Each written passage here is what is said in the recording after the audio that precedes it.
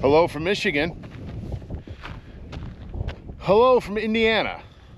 And hello from Ohio.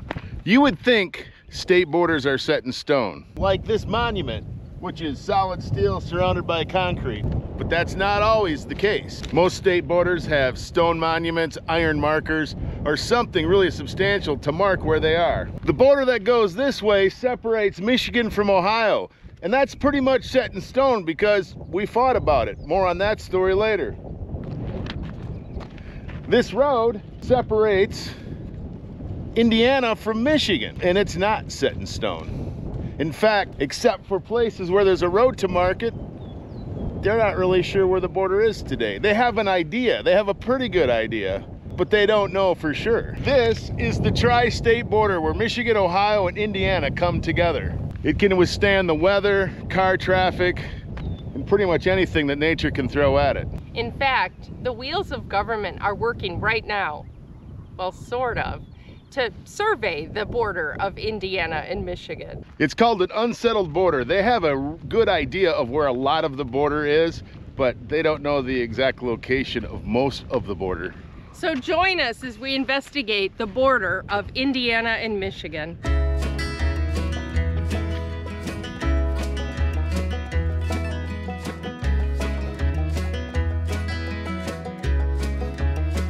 So this is Ray, Michigan. Now, if you do a Google search for Ray, Michigan, you won't find it because you have to do a Google search for Ray, Indiana on the other side of the road. Half the town of Ray is in Indiana, half the town is in Michigan. And some people here, I guess, have a driver's license from Michigan that says that they have an address in Indiana. Now, living on a border in a town like Ray can be difficult because if you want to go fishing, you have to make sure that the place that you're going to go fishing that you have a fishing license in that state whether it's ohio indiana or michigan if you get in a car accident you have to know if you got in the accident in michigan or in indiana if you want to buy something you can buy it in Michigan at a 6% sales tax. You can buy it in Indiana at 7%, or you can buy it in Ohio at 5.75%. But then you have to see what the local sales tax is, which could be about 1.5% on average. So this road marks the border of Indiana on that side, Michigan on this side. So here they're pretty sure where the border is. But the last time this border was surveyed was in 1827. And when they did that, they laid wooden posts every mile for the entire border. Now, wood doesn't last terribly long when it's put in the ground. And that's the problem. Now, property owners and local surveyors have a really good idea of where the border is, but without any official posts, they officially don't know exactly where the border is. And it could be off as much as a few inches to a few feet.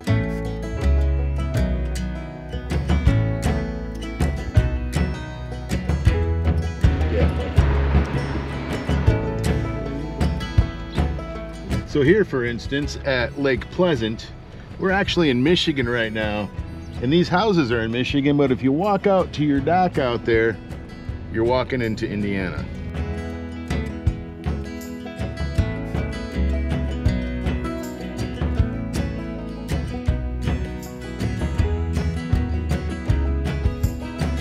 So for the past 20 years, a group of volunteer surveyors have taken up the task of searching for this line.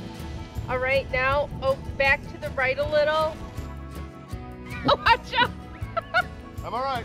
I'm all right. Wait, wait, wait, wait. Move over to, move over to the left. Nice.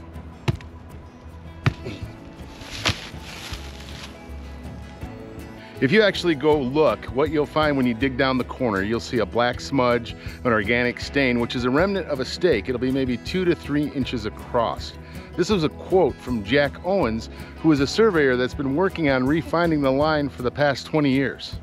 But at the rate they're going, they estimate they'll be done in a couple hundred years.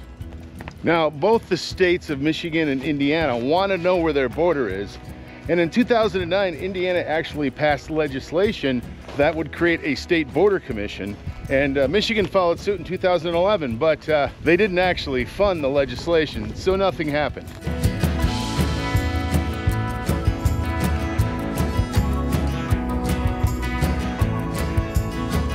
Then in mid 2022, there was a flurry of news articles saying that Michigan and Indiana both passed legislation again, and then they passed appropriations where they would fund the initiative with $500,000 each. So that's exciting news because the wheels of government are in motion in the hallowed halls of each state capital. They've decided to survey the border, and they're gonna finally do it again, and they're gonna put in permanent markers, granite, concrete. So there hasn't been any news since then. So we checked up on the progress. And there's actually a website for the Michigan and Indiana State Border Commission. Encouragingly, they have a meeting in December of 2022 on the issue, and in 2023, they scheduled six meetings. But here's the thing they canceled all the meetings because they couldn't get a quorum. All joking about the efficiency of government aside, they can't seem to agree on what the actual cost is going to be because they both want to survey it in different ways. Now, there was supposedly a meeting a few days ago on March 28th, but the website doesn't show any minutes from the meeting, but it does have an agenda. So it seems like an ambitious uh, agenda where they talk about the fact that they're going to set goals, they're going to look at uh, different firms, they're going to get some quotes, they're going to talk about funding, but there wasn't really anything of substance, except at the bottom of the agenda, there was a very important note. Individuals attending the meeting are requested to refrain from using heavily scented personal care products in order to enhance the accessibility for everyone. So at this point, the settling of the unsettled border looks kind of grim. And even more grim is all the commission appointments for the Indiana Michigan State Border Commission all expire in July of this year. So we'll wait with bated breath to see if our border gets settled or not. Wait, wait, wait, wait, wait. So a couple days after we finished the shooting, um, I went online and they posted the minutes and they did have a meeting. It's the Michigan Indiana State Line Commission and they met and no members were absent, so that's cool. And uh, yeah, they did some work and uh, they uh, they talked about some stuff. They got some cost estimate studies done by DLZ Corporation. So it looks like the wheels of our government are back at work to survey the Michigan Indiana line. So kudos to them.